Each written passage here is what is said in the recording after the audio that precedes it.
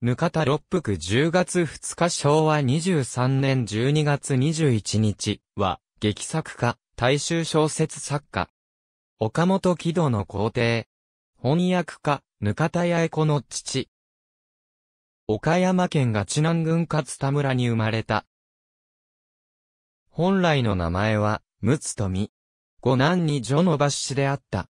勝又尋常小学校の時父を亡くしたが、家は豊かであった。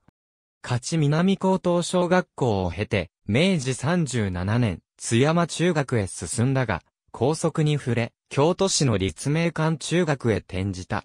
明治41年17歳の時、結核性関節炎になり、翌年右腕切断の手術を受けた。脊髄カリエスも病んだ。明治44年の園芸がアホ市の検証に、勝又町から踏み絵を応募して落選したが、その選者、岡本喜道に入門を願って、快諾を得、原稿を送り添削を受け遂行を重ねるという通信指導を受けた。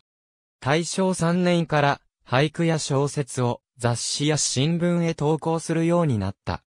大正5年26歳の時、上京し、喜道の世話も受けて、下宿生活を始め、早稲田大学文学部英文科に編入入学した。この年、新園芸史の検証に、出陣が、坪内商用の評価を得て当選し、大正6年正月の歌舞伎座で上演された。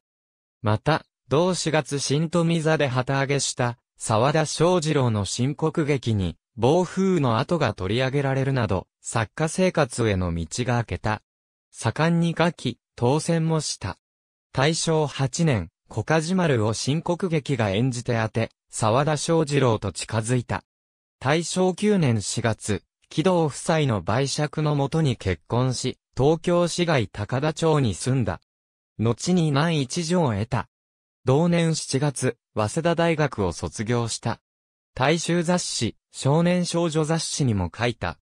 大正15年1月、沢田正次郎の白や弁、十郎が大当たりし、移行新国劇の得意狂言となり、沢田正次郎、島田正吾、尾形健人、弁、十郎の系譜が続いている。エドモン・ロス探索シラノ・ド・ベルジュラックの、楠山正夫役を、六福が本案した台本である。昭和2年37歳の時、杉並町阿佐ヶ谷に家を建てて移転した。あたかも実家が破産し、資金は軌道からの借金に頼った。昭和5年1月、岡本軌道監修の月刊演劇雑誌、舞台が創刊され、六福卓が舞台社編集部となり、投稿への単表や編集後期などの執筆が多様を増した。頭痛、肉腫、痔、蓄膿など多病でもあった。軌道が没した昭和14年からは舞台始発行の中心になったが、15年戦争下の世情で翌年廃刊に追い込まれた。戦争中は、自局にかなう愛国的な作品も書いた。太平洋戦争開戦直後、脳一血の発作を起こした。農村青年劇に力を入れた。空襲の始まった昭和19年末、京里へ疎開し、翌年秋、阿佐ヶ谷の自宅へ戻り、2回目の発作に倒れた。それでも、2巻の児童劇集を編んだ。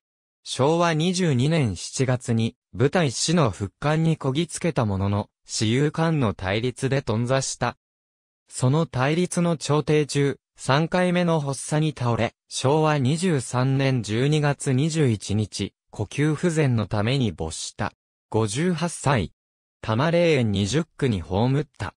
著作年表は、近代文学研究総書第65巻に詳細にまとめられているので、このページの記述に関係ある文の書出のみ、列記する。